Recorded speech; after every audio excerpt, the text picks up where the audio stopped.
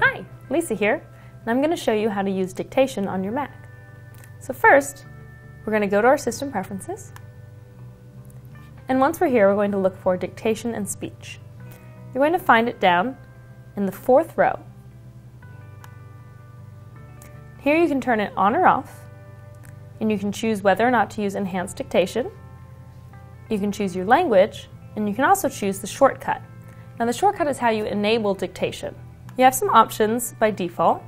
The main one is to press the function key twice, which is this key in the very far left corner of your computer. Now you can choose some of the other options or even pick your own, but I'm going to stick with the function key. So now that it's on, I'm going to open up my notepad so I can try it out.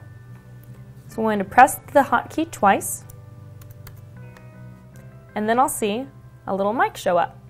And you can see in the mic there's little purple bubbles that fill it up and down as you talk that indicate that the volume of your voice is going up and down. When you're done, you just hit the return key,